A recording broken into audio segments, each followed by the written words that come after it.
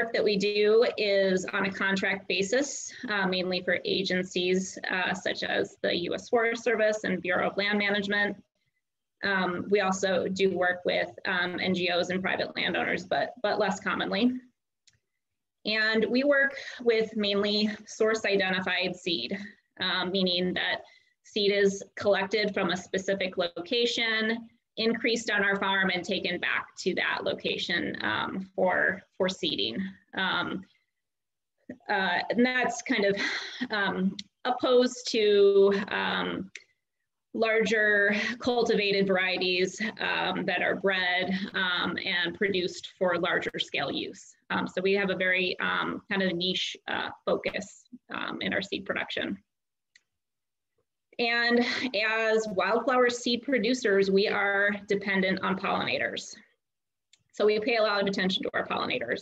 Um, we do um, import some pollinators, mainly bumblebees, um, for use uh, in pollinating our crops. Um, we also depend on a lot of the native uh, bees and bumblebees um, and other uh, insects that are present. Um, and we also get to take advantage of some background levels of um, re released um, honeybees um, for nearby crops and as well as leafcutter bees because we do have uh, quite a bit of alfalfa seed production in our general area. So um, most of our seed production plots are pretty small, about a tenth of an acre in size. These are a couple of strips of um, showy fleabane daisy. Um, you can see being irrigated with handline. Um, we do have a few species that are relatively easy to grow and harvest in larger scale plots, um, such as yarrow and, and Lewis's flax. We've got a few plots of those that are larger than an acre in size, um, but the vast majority of the flowers that we grow, grow are in about a tenth of an acre size plot. And so due to the size, the small size, most of the work that we do is by hand. Um, hand seeding or planting, weeding, harvesting, um, watering, moving around handline, et cetera. It's very labor intensive. Um, we don't actually water our plants very much. Um, we don't, you don't need to to get uh, pretty good seed production. We generally only water our plot, plots about three to five times a year um, with relatively long sets, you know, at least 12, sometimes 24 hour long. Um, and our plots uh, typically stay in for about three to four years before um, they're removed and rotated on uh, to the next crop. Um, just as an overview of what I'm going to be talking about tonight, um, going to be focusing on um, the wildflowers on our farm um, that are relatively easy to work with and grow and should be relatively easy um, to use in pollinator gardens. Um, I'll talk a little bit about the um, observed pollinators uh, we see on each species, uh, but I am a botanist, not um, an entomologist, and if anybody sees me misidentify something, please let me know. I'd be, I'd be glad to be corrected there um, I will try my best on that.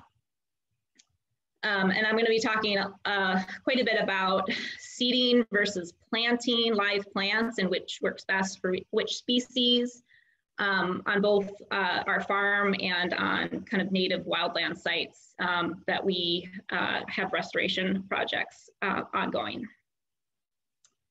And um, finally, I'll, I'll give some recommendations for planting in the home landscape and provide some more resources um, that are, are, are for additional help. So just in general, um, there's a lot of uh, different critters that pollinate. Um, bees, butterflies, moths, hummingbirds, beetles, wasps, flies, they all pollinate flowers. They're all important, uh, important piece of, of um, pollination. Um, I've read a lot of um, uh, documents for, you know, recommendations on pollinator gardens, and most of them just recommend a lot of diversity.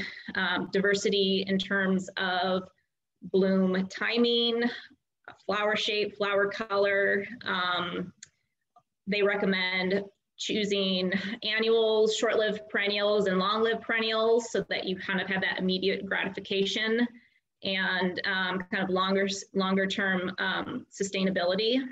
Um, I found a, there's a great document that I'll uh, provide a link to at the end um, from NRCS. Um, and they recommend at least three species um, in each of the timings, uh, bloom timings in both the early season, mid-season, and late season, um, having at least three species that live in, in, in, each of those time periods and bloom in each of those time periods in order to, to provide that extended um, uh, pollination, pollination source. Um, and so I've actually organized um, my presentation by um, that timing um, with early, mid, and late, and I will talk about um, some species that I recommend in each of those time periods. So starting with spring blooms, so this time of the year in our area, I consider spring to go in, into you know May and early June. that might be a little bit different in higher elevations. Um, but just in general, in the early spring, um, one of the um, most successful species that we've worked with is dusty maidens or Chaenactis douglasii. Um, I often just refer to as, it as Chaenactis.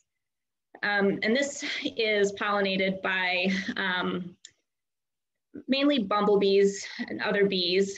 Um, I, in preparation for this presentation, I found a really neat study um, at the Aberdeen PMC where they um, noted that there were 17 different species of bees visiting the Chaenactis in their seed production plots there. So um, it really supports a large diversity of bees. Beautiful pink to white flower color. Um, you can see here I've got pictures of uh, both a Hunt's bumblebee and a western honeybee um, pollinating Chaenactis on our farm. In shrub steppe sites in eastern Washington, um, it's generally found on uh, sandy or rocky sites. So it is a very tough, um, air, uh, drought tolerant species. Um, and typically blooms in, um, I would say, early May. And it's considered a biennial or short-lived perennial, but it does readily self-seed, um, and it is a species that will bloom the first year after it's um, seeded or planted, so it provides immediate um, pollen sources. Um, a little tricky in terms of um, getting it established though.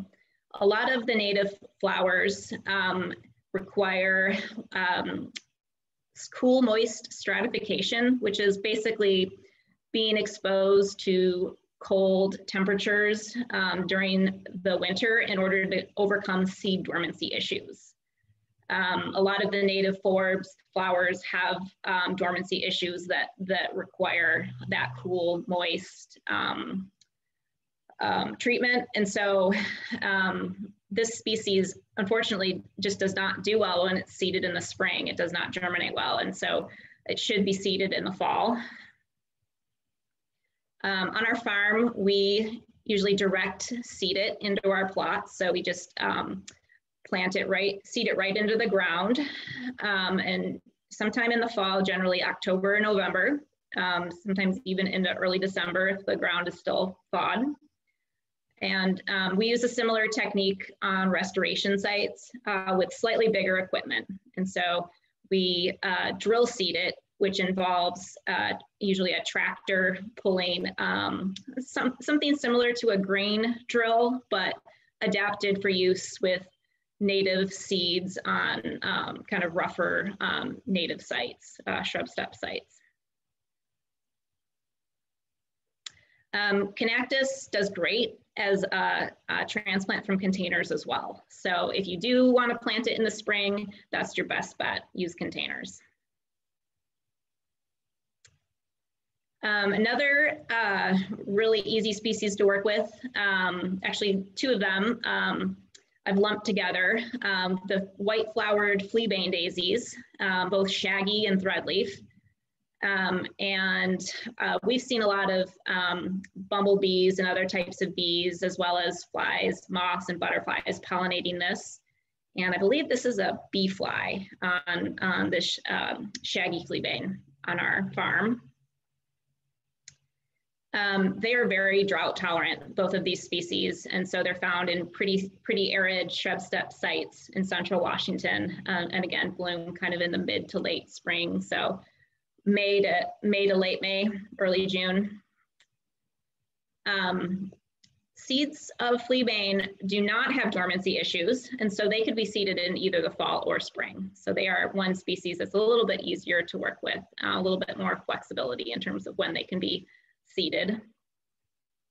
Um, they also do really well from container as well.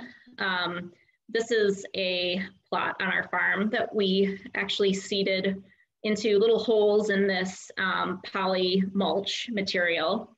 And uh, we use this a lot just to kind of cut down on um, hand weeding and um, the need to apply uh, herbicides and that sort of thing, and, and just, just to reduce labor. Um, Fleabane daisy has tiny, tiny seeds. There's generally about uh, um, one to two million per pound. And so on wildland sites in restoration projects, we seed it at a tenth of a pound per acre. Um, so, you know, there's really, in most situations, there's never a need for more than, you know, a quarter of an ounce, if, if that, of, of the seed.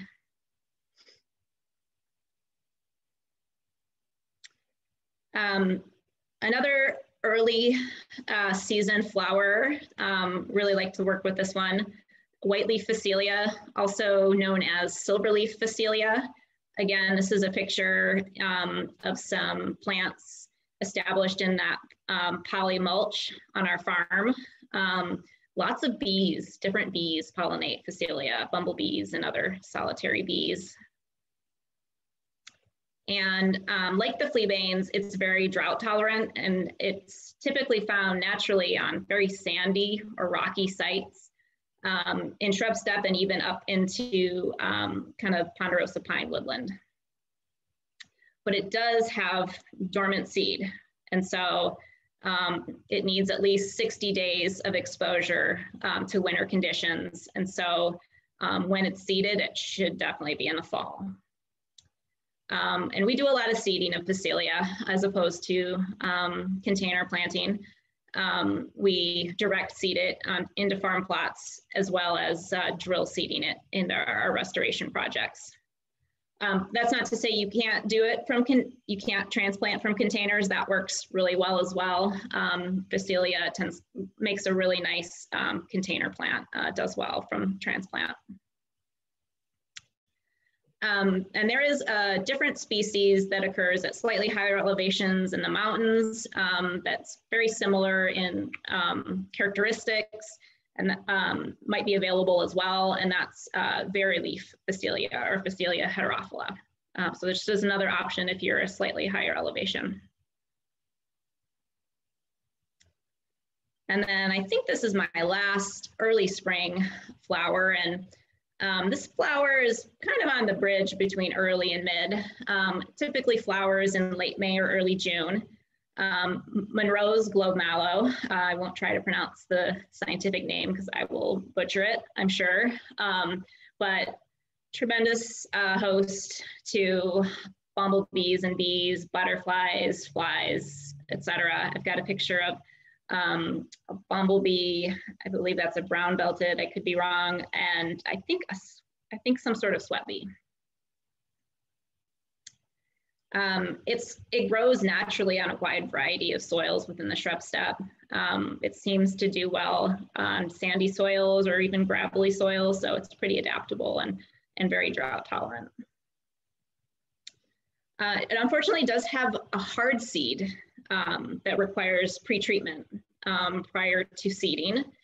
Um, it's got kind of a thick seed coat that um, doesn't really let water in. And so what we do is we kind of lightly sand it, rub um, some sandpaper um, over the seed and just rough it up a little bit. And that's enough to kind of um, nick the seed coat and allow that water to penetrate um, the seed coat and, and, germination to begin. So something to keep in mind um, We generally don't sell seed pre-treated.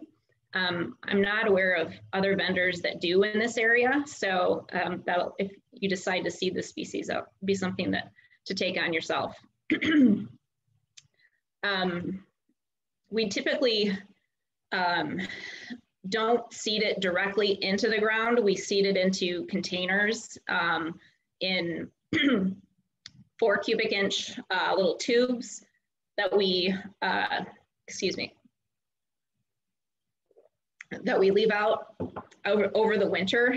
Um, put them in the greenhouse for a few months in the late winter, early spring, and then transplant them into fields.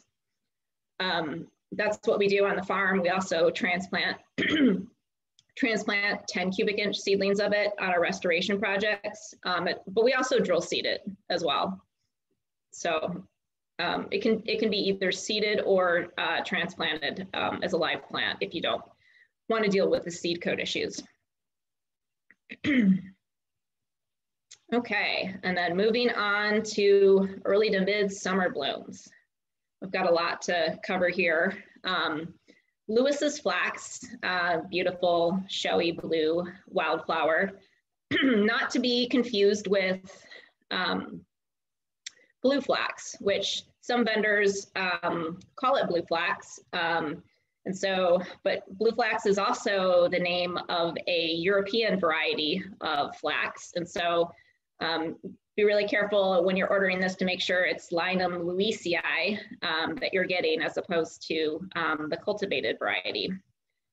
Um, great source of pollen and nectar for bumblebees, other bees, um, and flies in particular. And it blooms in the early summer, um, usually June and July no dormancy issues, no hard seed coat issues. It can be seeded directly in either the spring, uh, fall or spring, and does really well from both by seed and from container plants. Uh, we actually planted an eight acre field of this um, on our farm. It's one of the biggest fields of flax um, that we've ever done. And if anybody wants to see it, it'll be in its second growing season this year. Um, just drive down to Warden. It's right on the right on Road U it'll be hard to miss in July, I think. So um, we usually direct seed this um, on our farm and it's a, it's a part of a seed mix uh, that we drill seed into restoration sites. Uh, it doesn't generally bloom the first growing season after seeding, um, so you have to be a little bit patient with this one, but it will bloom the second year. Um, buckwheats are some of my um, favorite plants to grow in the garden just because they're um, they're not only perennials but they're kind of um, kind of low growing shrubs and so they retain their leaves year round and so they provide year round interest um, two species that grow in eastern washington and flower in kind of the early to midsummer are wyeth's buckwheat um, also known as parsnip leaf, also known as creamy. It's got a lot of common names, um, but this is white or pink flower color. Um, and sulfur buckwheat, uh, which has the kind of the vibrant yellow flower color, but um, beautiful foliage, um, great plants for rock gardens or just for you know inclusion in your in your home landscape. Um, Wyeth's buckwheat typically grows on pretty good loamy soils um, and moister sites and shrub steppe. And I've seen sulfur buckwheat grow in a lot of different places um, from really rocky sites to um, subalpine, um, um, you know, hillsides. It's, it's a pretty diverse species. It, it grows in a lot of different areas naturally. Um, buckwheats do require that stratification uh, in order to germinate, uh, generally between 60 or 90 days of cold moist, cool moist stratification um, is needed. Um, so we typically recommend uh, transplanting um, these species. In other words, um, you know, you can seed them into pots or just purchase them in pots and plant them as seedlings um, either you know three and a half inch pots or 10 CI or 40 CI, whatever whatever's available in your area. Um, when we grow them in our seed production fields, um, we seed the containers in the fall, overwinter them outside, and grow them in the greenhouse for a few months before we transplant them into the fields. Um, we do a lot of the transplanting by hand, um, but we do have a mechanical transplanter as well for larger fields. And uh, we primarily uh, transplant this as 10 cubic inch uh, seedlings in restoration projects. Um, and we, we try to do those in the fall, um, just in order to have more season of, you know, greater moisture uh, for establishment. Um, spring planting would work in a lot of areas as well. Um, occasionally we drill seed these, uh, but I think containers are the, um, the safest uh, bet for establishment.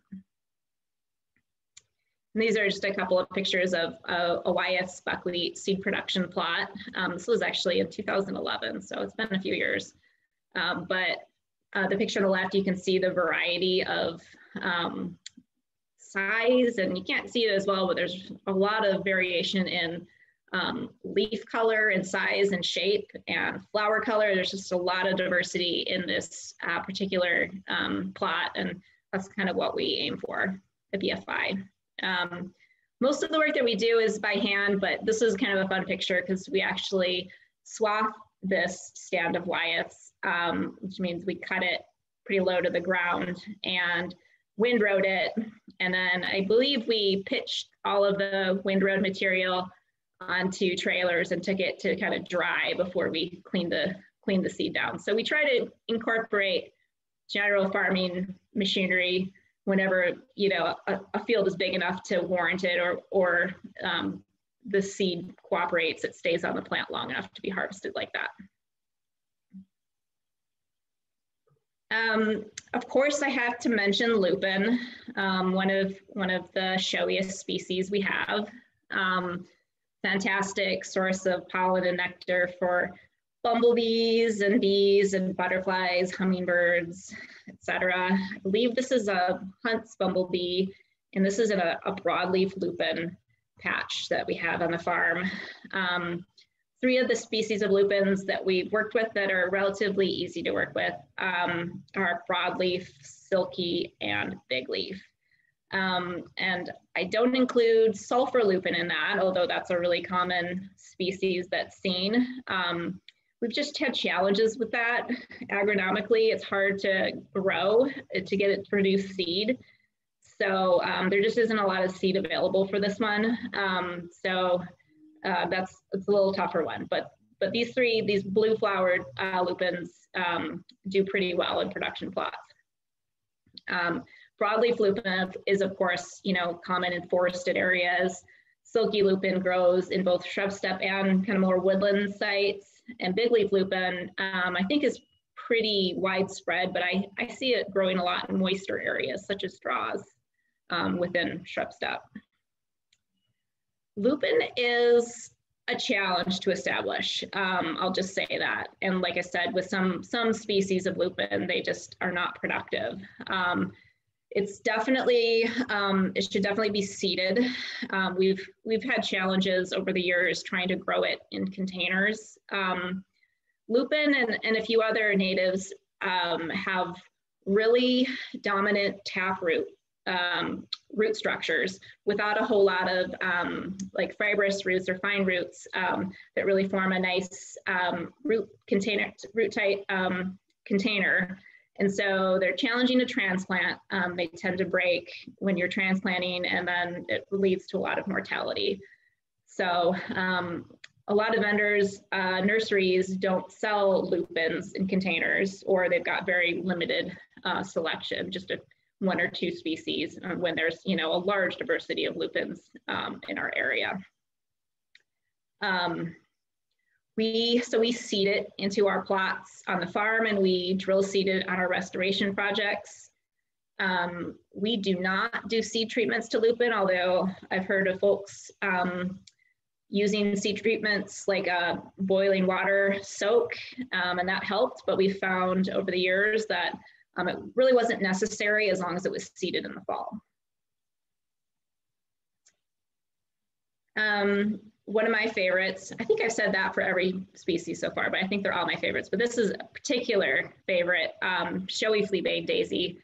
Um, really popular with bumblebees, flies, moths, butterflies. Um, it's found in a little bit more mesic sites than kind of um, typical shrub steppe sites. It's more of a forest or woodland species typically, and it blooms in the kind of early to midsummer timeframe. Um, and like the other fleabanes I mentioned, uh, no dormancy issues in the seed, so it can be seeded in the fall or spring, and it does great seed or container. Again, tiny seed, you don't need much. Great pictures of a western honeybee and a, some sort of leaf cutter bee, um, I believe, on the right-hand side. Um, penstemons are, of course, very popular choices for uh, pollinator gardens. There's so many species that um, all do pretty well on our farm and in wildland areas. Um, this is just a few that we work with that um, are, you know, Eastern Washington focused.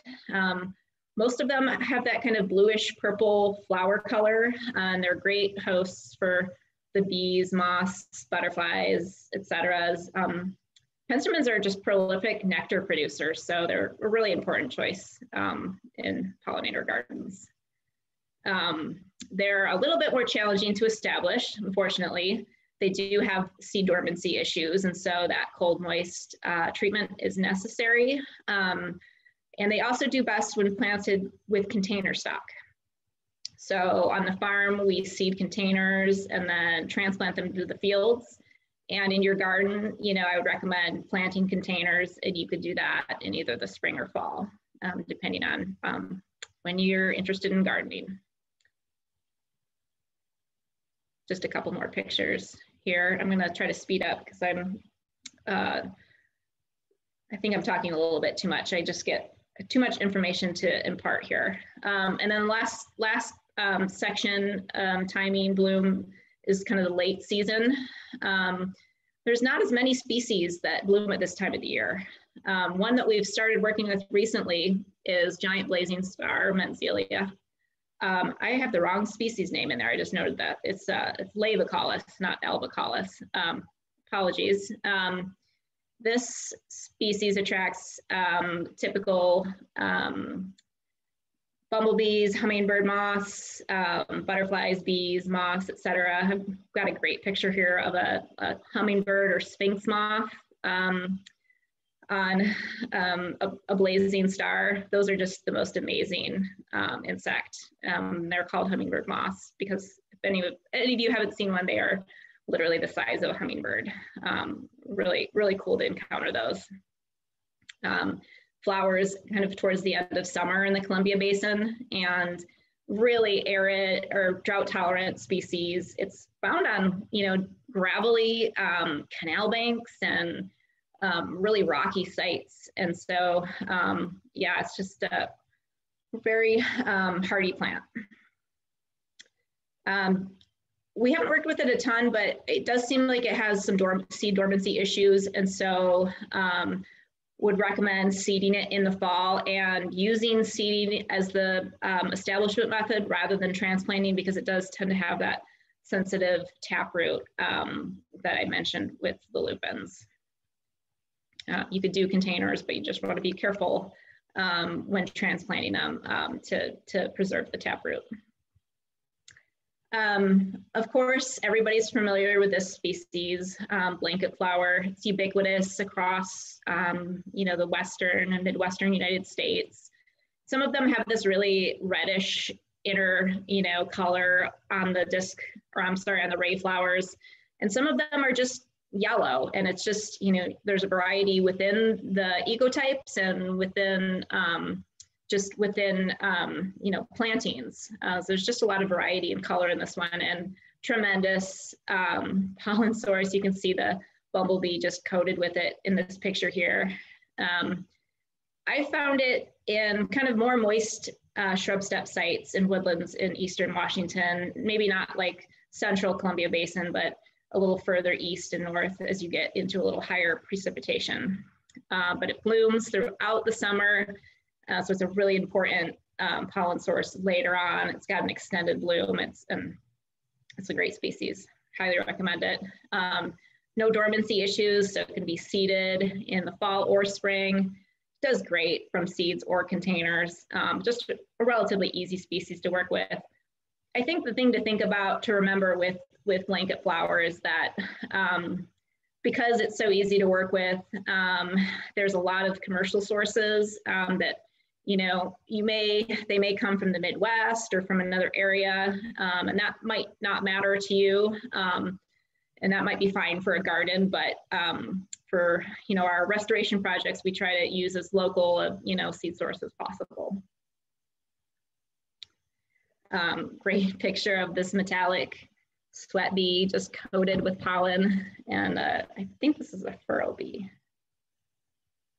Um, the only annual I actually have to talk about today is um, annual sunflower. And again, it's the sphinx moth um, is all over this plant um, in, our, at our farm, um, as well as just it's loaded with bees. Um, really amazing uh, uh, host plant. Um, it, uh, it blooms all the way until it frosts, until it through the fall. So um, late summer, early fall, it's just got an extended bloom time. Um, really hardy plant too. Um, it, I see it a lot along roadsides or in, you know, along gra around gravel parking lots. Um, so it, it seems like it likes a little bit of disturbance because um, it self it needs to self seed itself. Um, and it also grows really well in areas like along Crab Creek or other, um, you know, areas where there's some um, extra moisture in the late summer.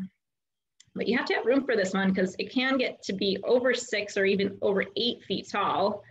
Um, but uh, you, you often find it, you know, three or four feet tall as well. It just kind of depends on how much moisture it's getting. Um, no dormancy issues. It's an annual, so obviously it's seeded. Um, you can plant, you can seed it in the fall or spring again, um, lots of cultivated varieties of this exist. And so your best bet of getting a Washington uh, native seed source is to shop with a local uh, seed vendor. Um, I think I've got two more late season plants. Um, tansy aster is, I think, kind of a neat little plant. It generally gets about three feet tall. And it's um, interesting because it often gets mistaken for spotted knapweed, but um, it's got, you know, yellow, um, yellow disc flowers. So that really sets it apart. Uh, but it's uh, pollinated by a lot of different types of butterflies. We've seen so many butterflies on this um, species late in the summer, as well as, uh, you know, bees, flies, moths. Um, it's a biennial or a short-lived perennial and it self-seeds pretty readily. It, it, again is a species that will flower the first year. And it's blooming all the way through September. Uh, we typically harvest it in October. So uh, this is a production field in, in mid-September. Um, so you can see it's in full bloom. Um, and we generally establish this from seed, um, but it does need to be seeded in the fall um, because it does have some seed dormancy issues. And I think this is my last one, another buckwheat. Um, these ones are just so fun to garden with. Um, really common um, pollinators on buckwheats are, you know, the bees. Um, I think this is a striped sweat bee um, on this um, on this Eriogonum uh, flower, and then another uh, type of bumblebee.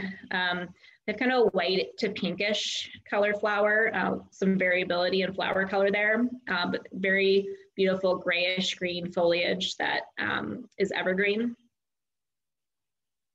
Um, they're, um, I think, you know, two to, you know, 24 to uh, 30 inches tall, so a little bit bigger, and they can get, you know, somewhat round and large as well. So um, definitely need the space to grow them.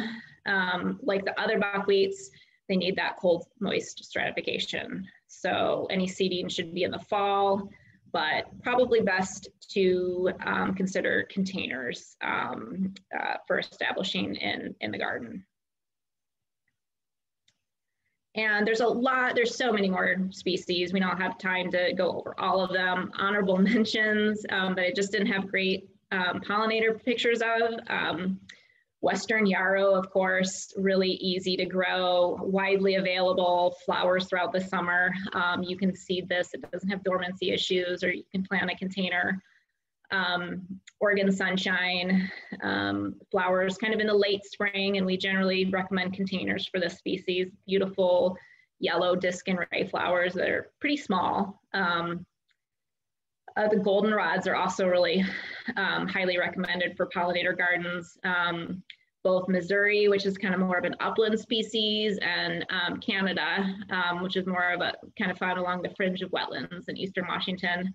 Uh, another late summer um, flower, so um, can be important in for that time of the year. I would definitely recommend containers for these. And um, we don't work with them because um, we're seed producers, but um, flowering trees and shrubs are such an important um, source of pollen and nectar, particularly really early in the year. I've got Oregon grape and Scouler's willow and currant in my yard that's been flowering for over a month.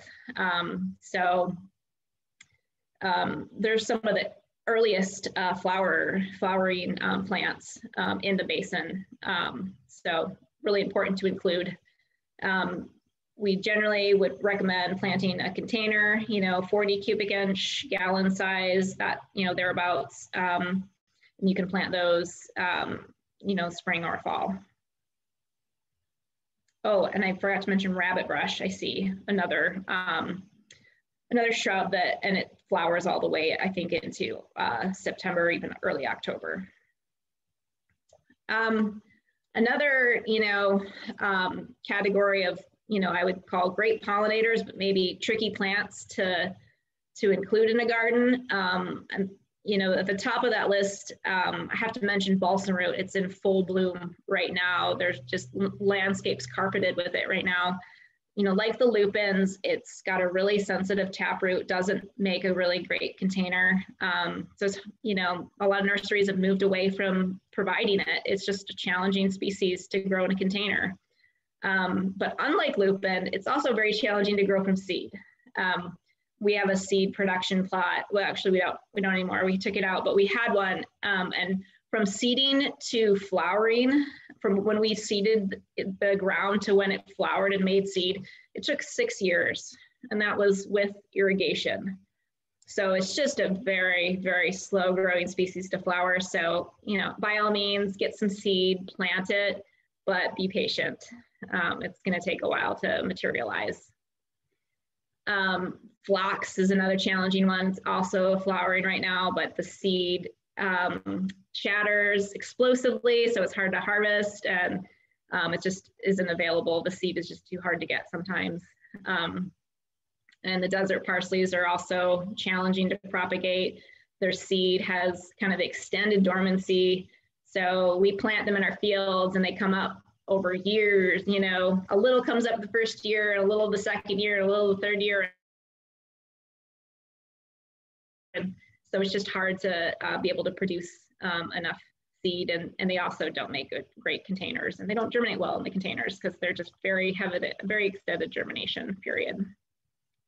Um, and with that, I'm going to switch gears and talk a little bit about planting versus seeding, which I've kind of already covered extensively on a species specific basis, but just in general, um, we try to um, save, you know, seeding for kind of larger scale projects, um, projects where you're using mainly grasses, um, just because of dormancy and hard seed issues that are associated with forb and shrub seed. Um, whereas with live plants, um, you know, those are still cost, they're more expensive, but they're pretty cost effective when you're just talking about a, you know, a small or medium, medium sized project like a, like a backyard or a small um, small habitat planting. Um, and they're just, it's just critical for a lot of the forbs and shrubs that are challenging to um, uh, establish by seed. Um, and then I'm sure of anyone who's ever gardened seeds or just require a lot more work to get going because they need um, substantial site preparation work, you know, in the form of weed control, whether that's solarization, chemicals, mechanical. Um, you need to really be able to deplete the weed seed bank in order to kind of eliminate the competition so that seeds can establish. Um, you also need bare soil and the seeds should ideally be buried just a little bit under that soil. Um, so yeah, it takes a lot of takes a lot of work to get to that point. Sometimes in our restoration projects, we spend two years usually fallowing a site um, to reduce the seed, weed seed component before we seed it. So um, that can be sped up with irrigation in the landscape, but um, it's it's um, it requires a lot to to prepare prepare a site for seeding. Obviously, live plants need a lot less site preparation and weed control because the plants are just larger and more competitive when they're planted. Um, the Washington Native Plant Society has a great up-to-date source of where to buy native plants and seeds. And so this is the link. Um, and you can see BFI native seeds right there at the top. Um, perks of being, um, uh, starting with the letter B, I guess.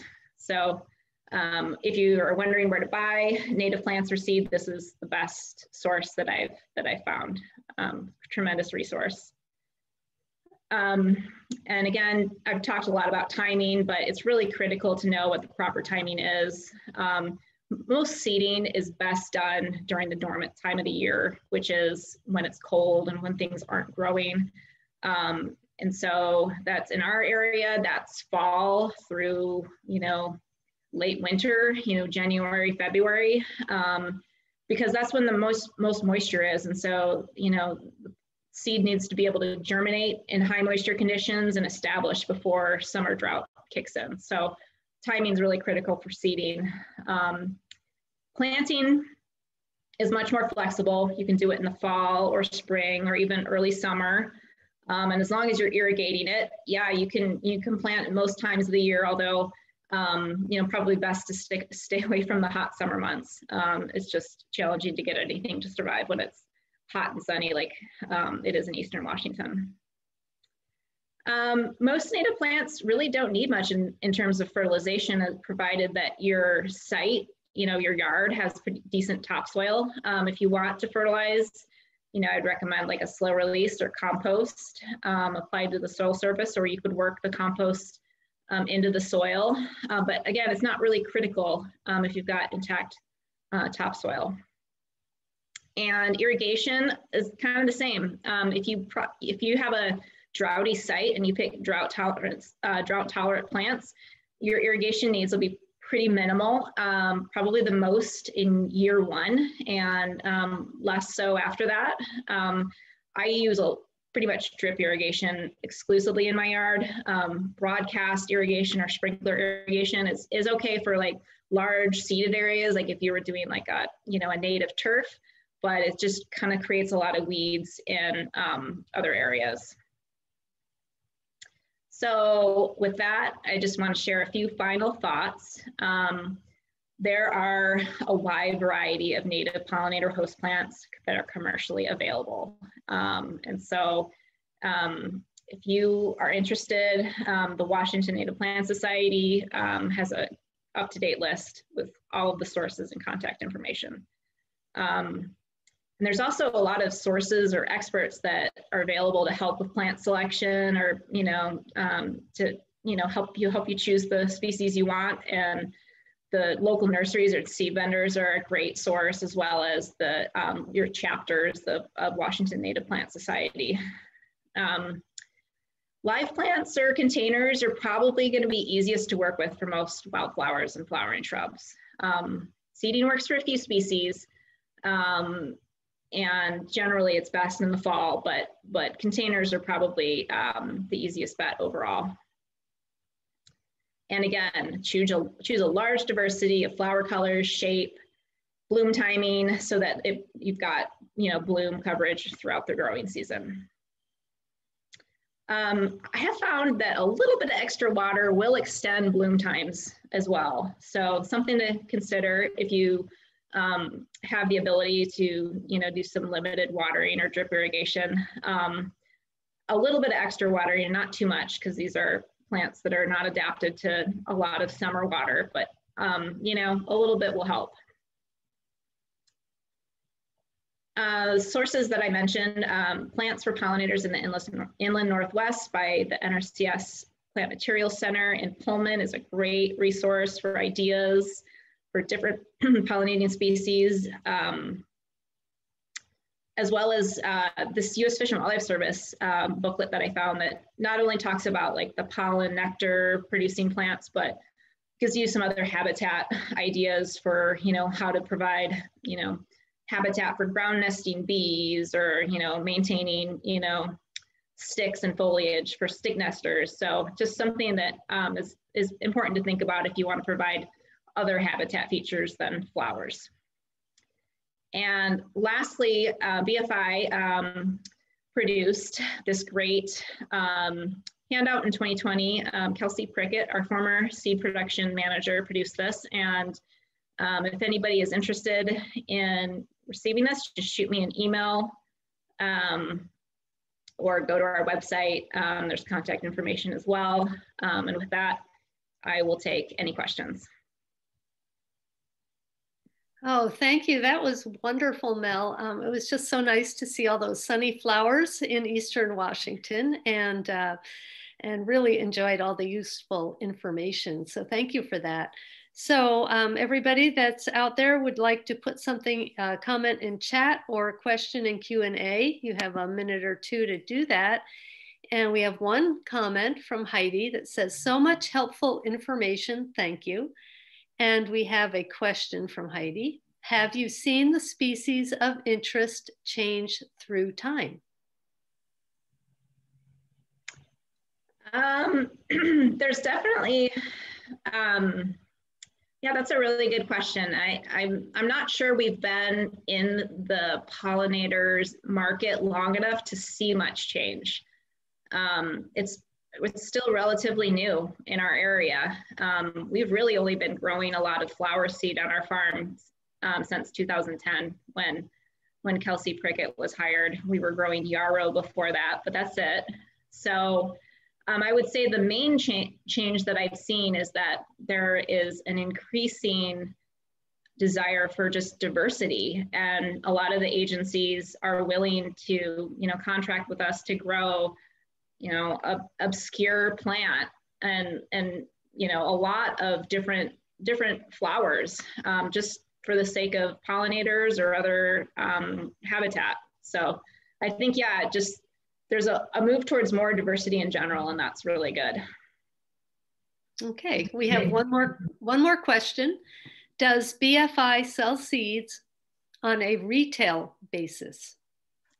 Oh yeah, we'll sell seed to anybody. Um, just call our office. We're not really set up to do um, like seed packet type sales. We've tried, you know, making like very small packets and selling them, but they're just there hasn't been in the past the demand. Maybe it will get there someday, but um, we will sell seed on an ounce basis and we'll sell seed to you know whoever um, wants to call us up and buy it. So um, yeah, feel free to call Matt at our office um, if you're interested in buying small, you know, at least an ounce worth of seed. Okay, and I have a question. Do you ever give tours out on your farm? We do, yeah. Yeah. Pre COVID, we had one to two tours open to the public every year. Um, and I imagine we will again. Um, okay. Maybe starting next year. Um, I don't think there's one planned for this year, but it's generally in early June. Mm-hmm. And um, we look at the flower fields and all of the grass fields, and it's just, yeah, it's neat. And if you're interested in being a part of that, email or contact Matt at the office and he'll get you on a list for when we do start those back up again. Okay, that sounds great. Um, I would love to see your farm, and I imagine a lot of other people would too. So, yeah. Okay, I don't see any other questions or comments at this time, but I sincerely want to thank you for the work you're doing and sharing it with us tonight and uh, giving us that little break from wherever we live and enjoying your part of the state. So thank you again. And uh, I think we can go ahead and sign out now as people are, oh, you've got to, thank you very much. You're going to see quite a few of those. Um, wonderful presentation, thank you. So um, everyone here really enjoyed this. Thank you so much for your time. You're welcome, and I'm glad to talk about flowers anytime. so are a lot of us, so that's yeah. a good combination. All right. Yeah. All right. Good night, everybody. Good night.